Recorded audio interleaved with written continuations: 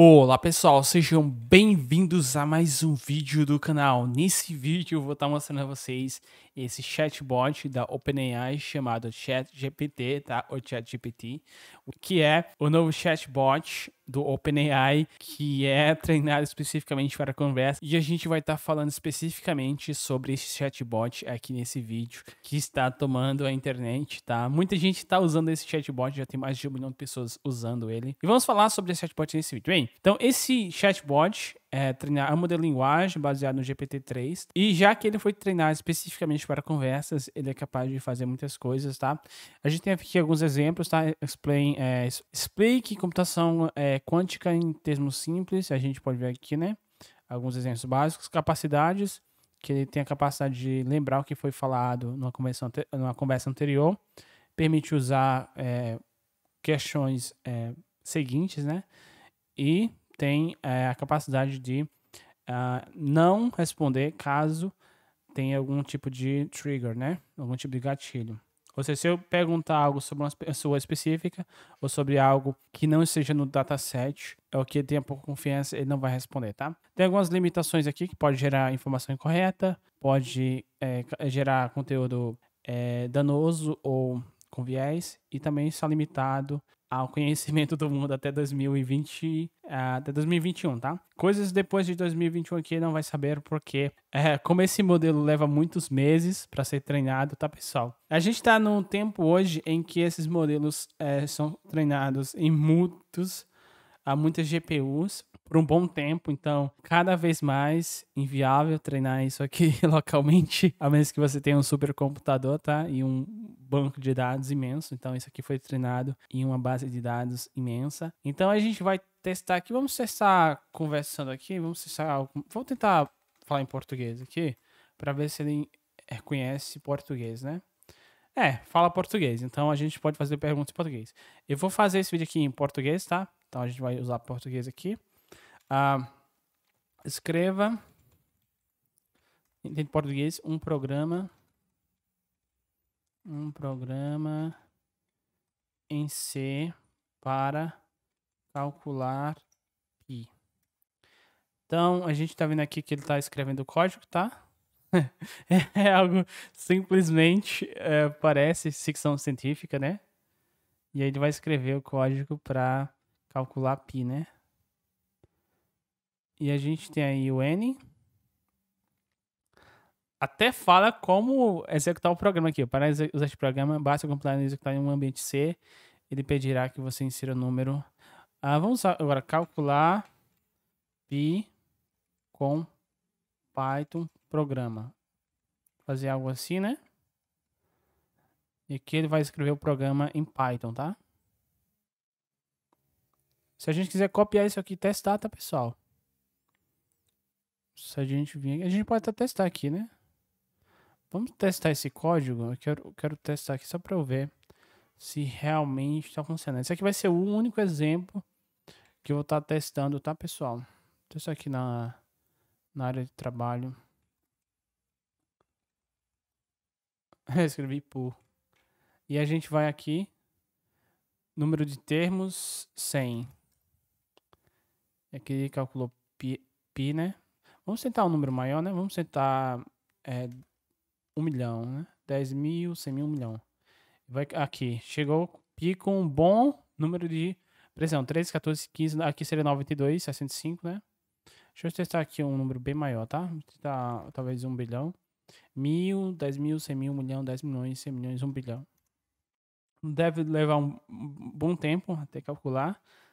É, eu acho que eu não sei quanto tempo vai demorar, né? Um bilhão é muito, né, pessoal? E talento, né? Um bilhão. Então vai calcular pi usando um bilhão de termos. Vamos deixar isso rodando. Seria bacana se imprimir o p, né? Não, vamos imprimir o i. É, if i, if i, é, por cento, if i. Eu esqueci como é por cento. É, vamos ver a cada mil. A gente vai imprimir né?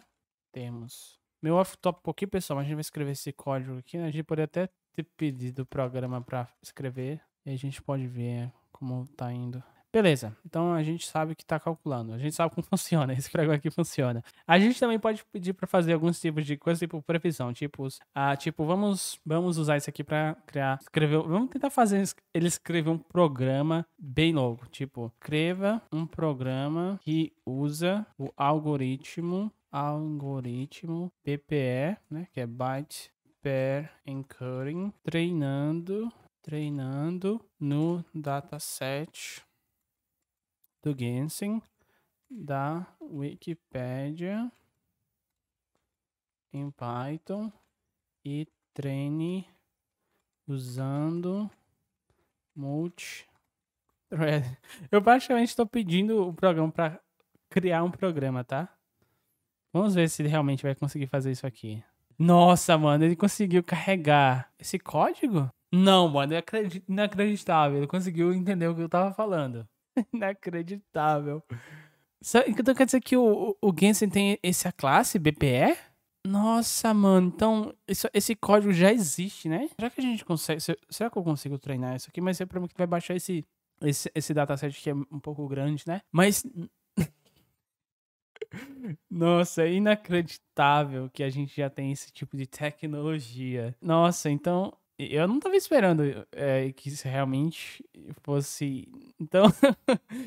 então vamos lá, vamos testar outra coisa aqui. Vamos. É, criar um programa em Python para treinar um modelo de reconhecimento. vamos lá, reconhecimento de voz. Use uma. Use o TensorFlow datasets para carregar o dataset do Common Voice, Common Voice em português. Em seguida, implemente um modelo uh, similar ao Deep Speech 2 usando a função custo CTC, mais conhecida como cite-se loss e, e, e treine o modelo.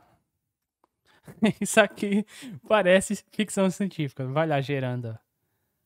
Ele deve carregar. Ele carregou, da, carregou da 7 em português. Ele conseguiu identificar. Aí tá escrevendo código. Tá escrevendo código. Será, será que isso funciona? Eu não sei se isso funciona. Será que, será que isso funciona? Mas tá salvo aí, né? Depois eu posso ver. Tá aqui o código. Vou salvar esse código.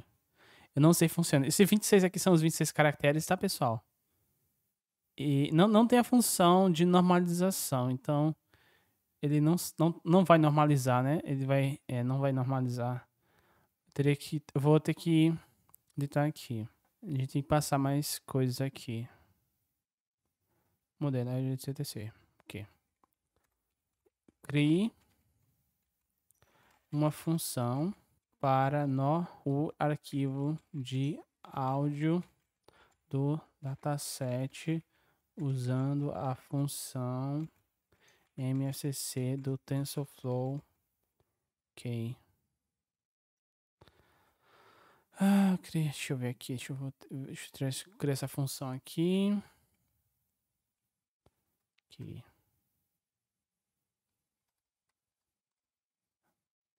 E a função, ok.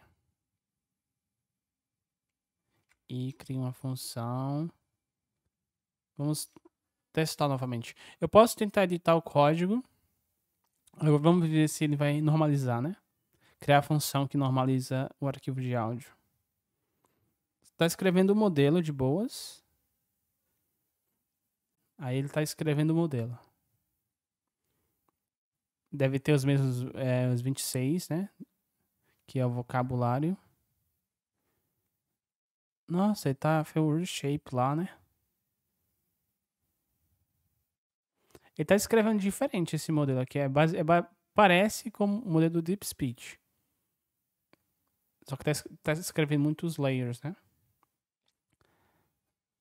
Ele colocou o número de palavras. Só que eu cheguei no limite. Eu cheguei no limite já? Tá criando a função normalizar.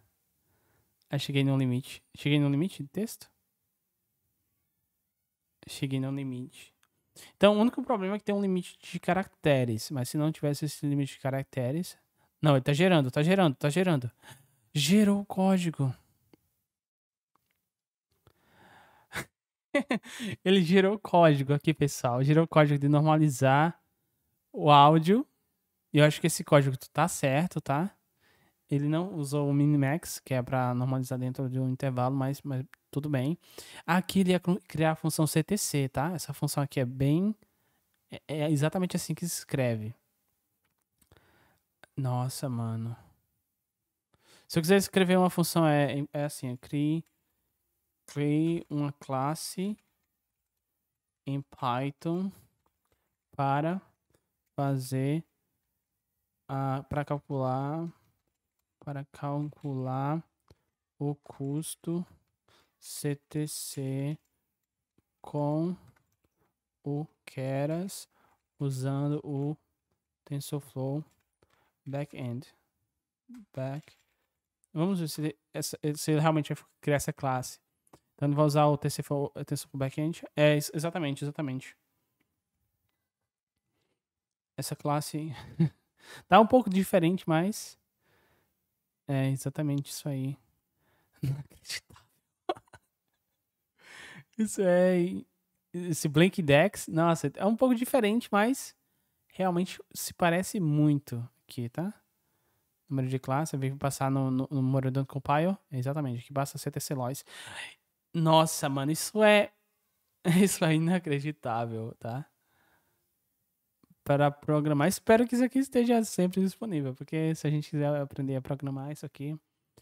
Isso aqui vai ser tipo o leap que a gente vai conseguir com isso aqui. Vai ser uma coisa absurda, tá? Imagina não ter que pesquisar na internet como fazer algo e apenas abrir um browser e ter basicamente a resposta a alguns cliques, alguns segundos, tá? Se, a gente, se, eu, se você aprender a como é, escrever prompts mais detalhados, é, as possibilidades aqui são imensas. Vamos ver um, um pouco mais na questão de conhecimento, né? Ah, deixa eu pensar algo bem específico. Qual o modelo de celular que Neil usava no, usava no filme Matrix de 1999. Acho que era um Nokia, alguma coisa. Motorola? Era um Motorola? Eu não lembro que era um Motorola. Mas como vocês podem ver, isso aqui, pessoal, é o que eu tenho tentado aprender durante todos esses anos e a gente vê é, se vocês acompanham o canal, vocês viram aí o quanto inteligência artificial vem evoluindo e o salto gigantesco que a gente teve a partir da arquitetura Transformer e o GPT, né? Aí na, na versão na terceira vers versão do GPT, isso aqui já consegue fazer esse tipo de bagulho que parece ficção científica. Vamos ver outro exemplo aqui um pouco menos. A gente pode escrever um programa, talvez, talvez é, tem algumas, algumas coisas de lógicas, né? Um, quais são. Ah, deixa eu ver uma coisa que. É, escreva um programa que. Um, a gente pode tentar fazer qualquer coisa, pessoal. Que capture a tela em C Sharp usando a uh, qual API a gente usa em C Sharp? Uh, qual API? Vamos usar o OpenCV, tá? E grave isso num arquivo. A gente, o que a gente está tentando fazer aqui é algo surreal, tá? Aí, importou o OpenCV Sharp, né? Que é uma biblioteca. Ah, nossa, então ele tá capturando. Eu consigo ler exatamente o que ele tá fazendo. É a mesma função que, que, que você faz. Só que ele fez um. Apenas escreveu é, uma imagem, tá? Capturou. Então esse código aqui deve funcionar, tá, pessoal? Essa função aqui já vem em Python já, especificamente. Só que uh, a gente, vamos lá, vamos modificar isso aqui, né? Uh, dentro de um loop, uh, grave a imagem em memória, comprima usando gzip e envie via network stream. Então a gente vai tentar fazer um programa super complexo, tá? Aqui. Usando isso. Vamos ver se realmente vai fazer isso. Ele vai abrir, ele tá abrindo o vídeo. Abriu o network stream. Entrou o loop, tá lendo o frame. Vai abrir o mesmo stream, vai escrever o frame para memória vai comprimir o frame, comprimiu o frame, é, escreveu na Network Stream. Nossa, mano. Isso é muito irado. Então no Network Stream aqui, só que falta uh, o IP, né? Falta especificar o IP. Então a gente, se a gente quiser escrever um programa muito complexo, complexo, tô sem palavras, tá? Se a gente quiser escrever um programa muito complexo com isso aqui, é totalmente possível, tá? É só o limite, o limite. A imaginação é o limite. Claro que esse programa tem um limite, só que é difícil saber onde está esse limite, né? Já que a gente está começando a usar esse tipo de aplicação agora.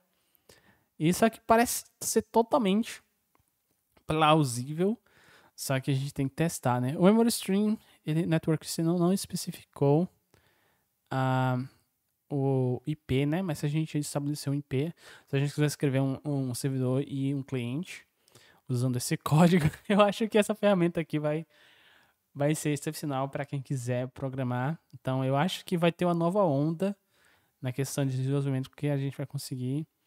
A gente até pode explicar o código, né? É, vamos, vamos ver aqui. Escreva um servidor. Escreva. Escreva um servidor em C Sharp capaz C Sharp capaz de atender vários clientes e explique o código.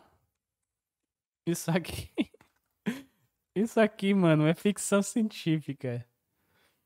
Isso aqui é ficção científica. Então deve escrever o código e eu quero que ele use. É, tá demorando um pouco, talvez a quantidade de pessoas que estejam usando esse programa no momento sejam várias, né? Então, ele vai usar o sockets, que acho que é a melhor forma de escrever eh, networking em C Sharp. Vamos ver se realmente vai. Tá demorando um pouco, acho que deve ter muita gente usando, né?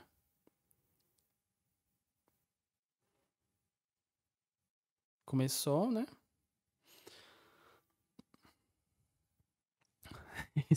Exatamente. Exatamente, pessoal. Então ele cria uma thread para cada cliente.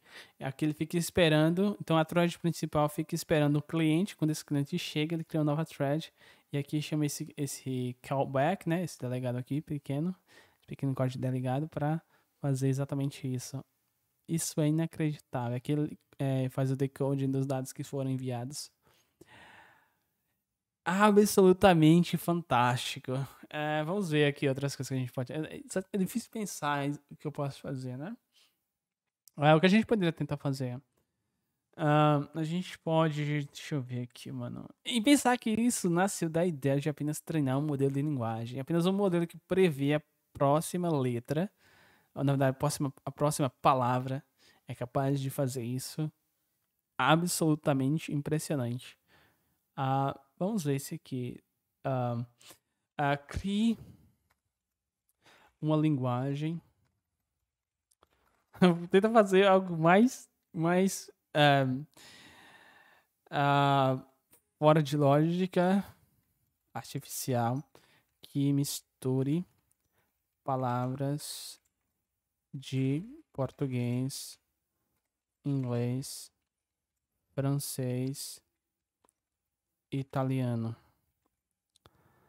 Um, por exemplo,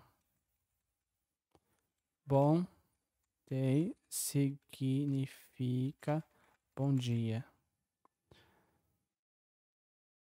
Ah, deixa eu ver aqui. E mal day significa bad day.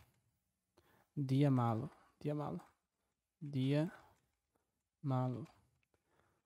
O como dizer em que dia é o seu aniversário. Vamos ver se realmente eu conseguir fazer isso. Isso é algo. Ah, desafio complexo. Ele tá dando a resposta porque é difícil. Eu não quero a resposta porque não é com. Não é possível fazer. Eu quero, eu quero a resposta. Bom day. Uh, deixa eu ver aqui. A criação de linguagem artificial que mistura palavras é um desafio complexo que envolve análise de padrões. Uh, quero ver aqui. Então, bom dia seria bom day. Sufixo day. Bom dia. Não conseguiu. Ele me deu a resposta porque não consegue. Uh, crie uma lista de frases em francês francês que um falante de português poderia entender. Quero ver isso aqui, pessoal. Quero ver esse tipo de, de conhecimento sendo. É, é, qual é a palavra mesmo? sendo é, inquirido, né? Bonjour, comment ça va? Je m'appelle Maria. Oui, oui, et. Não, acho que é um, francês. Banana. Je suis en vacances. Ele me deu as respostas aqui, pessoal. Me deu as respostas. Só que não acho que são tão Deixa eu tentar fazer, por exemplo, mira em japonês, japonês e espanhol tem um significado semelhante. Qual é? Vamos ver se realmente o modelo consegue entender isso. Mira em japonês e espanhol tem um significado semelhante. Qual é? Vamos ver se ele consegue entender. Porque tecnicamente esse modelo aqui deve saber japonês, né? E deve saber espanhol também. Então. Já que eu tava usando em, inglês, aí eu testei português, viu?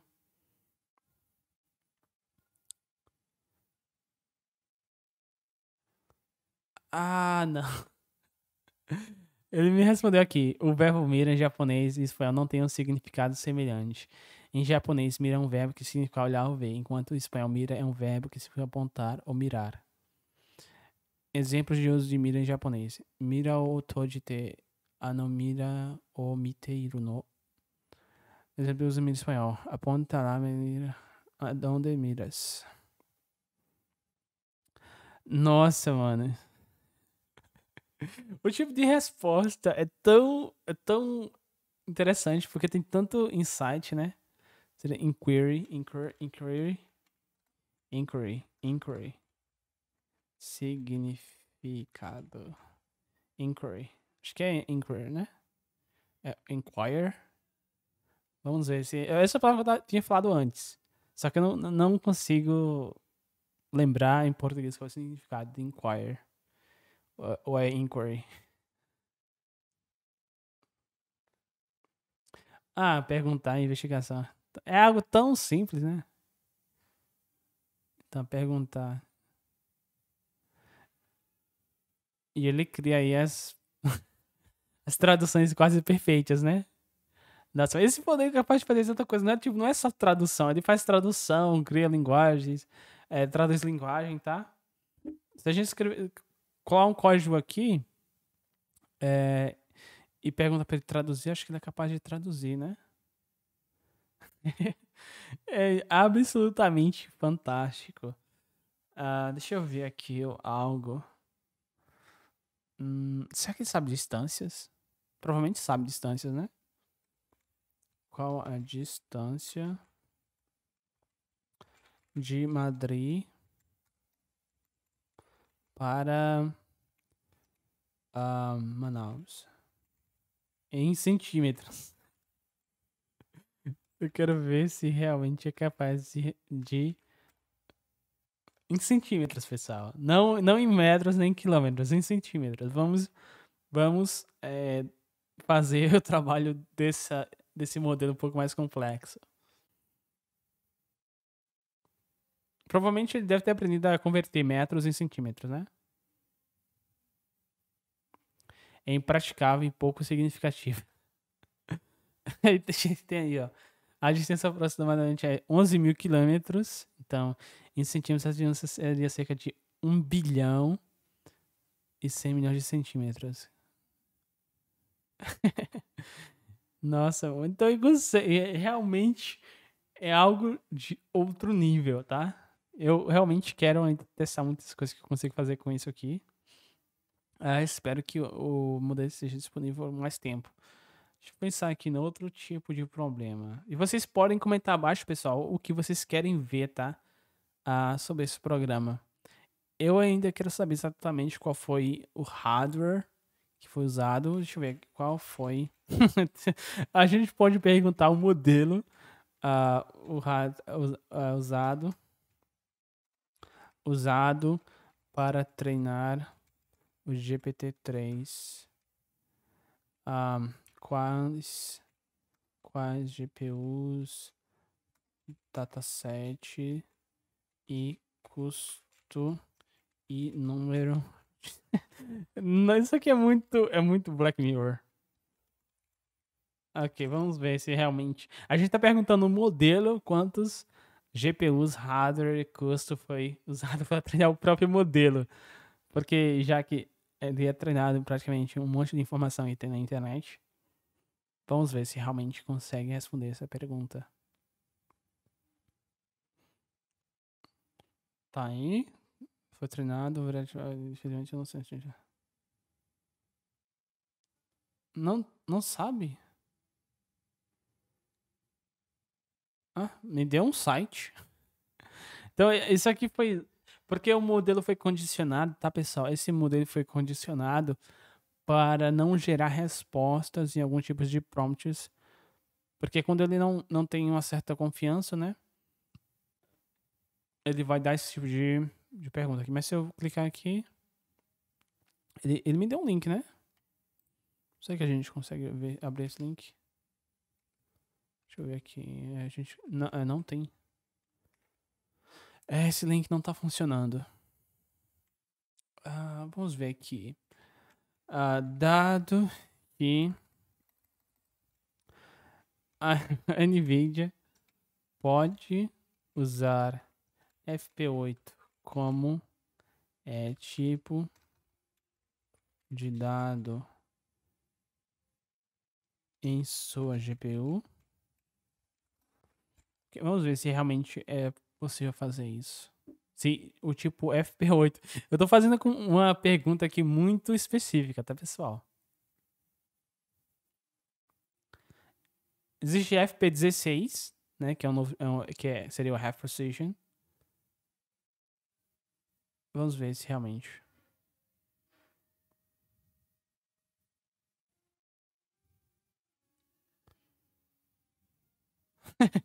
Aqui, a resposta, incluindo FP16 e FP32. Mas não é possível afirmar com certeza se elas suportam o formato FP8 sem consultar a documentação técnica da NVIDIA. É recomendável verificar. ah, vamos ver aqui. Uh, será que. Será que é... Escreva. Escreva um código que emule a FP8 usando FP16 uh, em C++ para computação computação CUDA. Vamos ver se realmente consegue fazer esse tipo de, de coisa absurda, tá, pessoal? Tô praticamente pedindo para poder fazer algo que acho que nenhum ser, talvez um ser humano é, com muita experiência em C++ e uh, CUDA seja capaz de fazer, né? Vamos ver se realmente consegue fazer isso.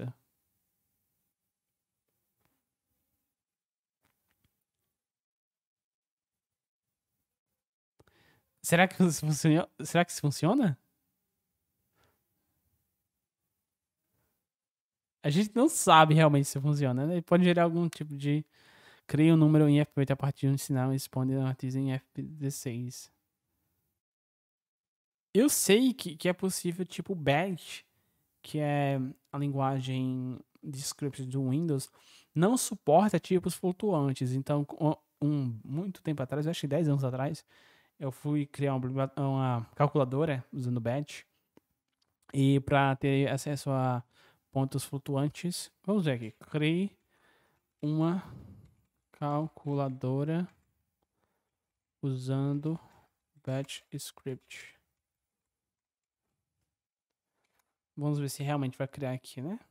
Seria o arroba equoff, que, é um script bem velho, tá? Que é usado basicamente para poder executar algumas tarefas no Windows. É bem, é, é, bem útil. Vamos ver se o modelo é capaz de, de fazer isso. Aí, tá usando arroba echo loop. Tá usando aí. Só que não faz é, ponto flutuante, tá? Aqui ele vai fazer apenas... Realmente, não vai fazer ponto, flutuante. Ele vai fazer apenas tipo inteiro, né? Nossa, mano, isso é muito da hora. Faltou que faz cálculo cálculo em ponto flutuante. Aqui vai ter que usar um, um hack, né, que é um hack que eu vi, eu não lembro exatamente qual é o hack, só que ele roda ponto flutuante usando números inteiros, apenas mudando a vírgula, né? O expoente. Vamos ver, esse código CUDA aqui eu não sei se tá certo, porque eu não programei em CUDA ainda. Mas a ideia, a ideia é interessante, né? A gente criou aqui praticamente uma nova IP, né? Uma nova é, propriedade intelectual. Só usando o modelo de linguagem, a gente talvez. Eu não sei se aqui tá. Uh, Ponto flutuante. Será, será que funciona esse, esse código? Usando tokens delimitador? Eu não sei se realmente funciona.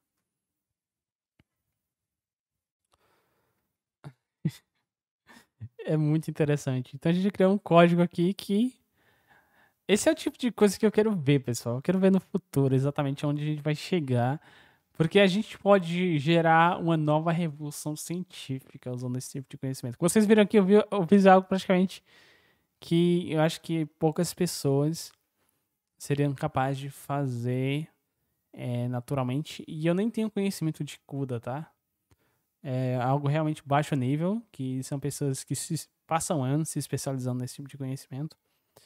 E a gente pode aí estar tá vendo Seria. Qual é a analogia uh, para para a mão que se desenha? Uh, qual seria a melhor analogia para o desenho da mão que se desenha uh, em relação quando se trata quando se trata de inte, inteligência artificial.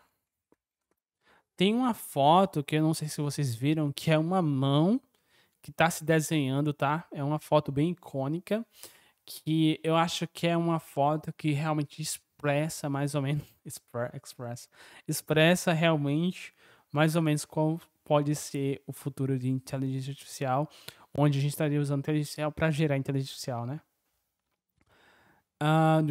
Baseada na ideia que.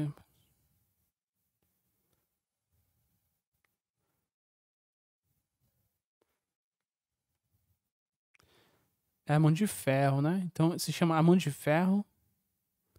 Eu acho que se chama mão de ferro. Esse modelo não é capaz de gerar imagens. Seria bacana se ele tivesse acesso ao banco de dados de imagens e desse algumas imagens como resultados relevantes, né? Vamos tentar escrever outro tipo de código mirabolante. Uh, vamos fazer isso em Python, né? Uh, crie um programa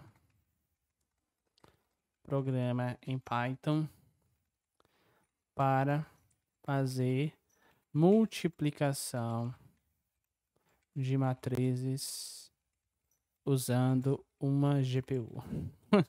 vamos fazer, vamos ver se realmente esse tipo de coisa existe. Eu sei que existe, qual o nome é daquela biblioteca que é usada no naquele framework japonês? Eu não lembro mais o nome. O Chainer. É o Chainer. Uh, então o Chainer usa essa biblioteca, é, que é o CuPy. Então tá usando aí o CuPy, né, para fazer a multiplicação de matrizes.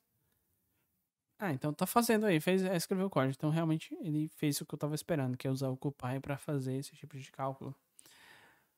Ah, será que a gente consegue expandir para fazer FP8? Ah, será que é FP8? Ah, FP8 funcionaria como um formato, é um tipo, um tipo de dado para machine learning, como assim como o int 8. Eu vou fazer um, um, tipo de pergunta muito, muito uh, fora do escopo do que eu acho que esse modelo é capaz de fazer. Vamos ver qual vai ser a resposta, né?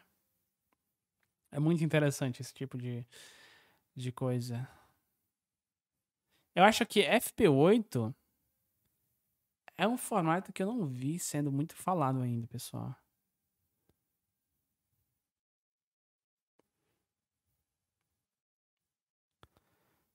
Vamos tentar novamente aqui. Ele não gerou uma resposta completa. Eu acho que o FP8 tem muita é, espaço, já que com os modelos gigantes, a espacidade desses. Já que int 8 funciona, por que FP8 não funcionaria, né? Essa é a minha razão por trás. Só que FP8 não tem aceleração por hardware, né?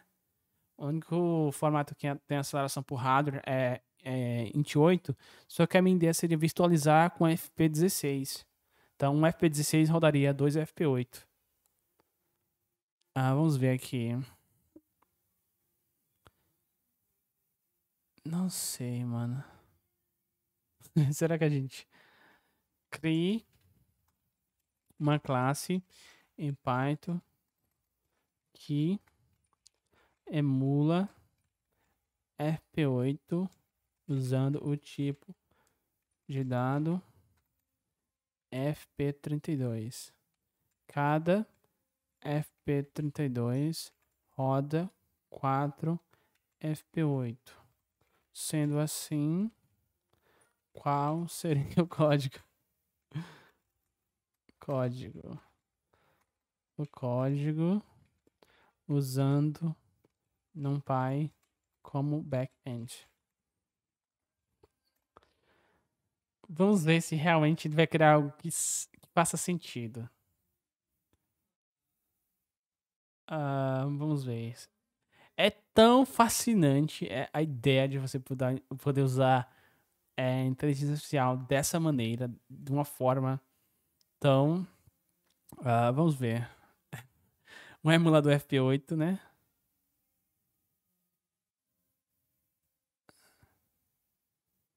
Matiza, será que realmente funciona?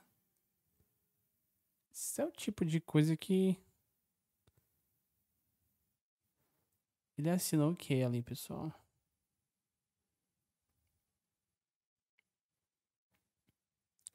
Ele ia adicionar números, não era? É, faltou código. então a gente tá limitado pelo número de caracteres que tá gerando aqui, mas Será que isso funcionaria? Será que essa ideia que funcionaria? É algo que eu vou, eu vou tentar ver ainda. Se realmente. Uh, vamos, vamos tentar fazer algo mais complexo. Crie uma rede neural em Python que usa logic gates como é, forward pass ao invés de é, multiplicação. Multiplicação.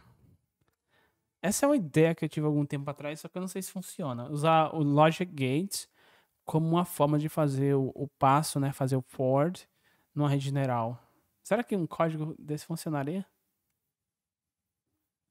Eu só vi um paper falando sobre isso. Eu não vi, não vi mais alguém falando sobre isso. É, tem que usar o Logic Gate. Vamos ver se vai realmente na, na, na função forward. Que você vai usar Logic Gate. Ah, tá usando Logic Gate. Será que funciona? Eu vou rodar esse código, hein?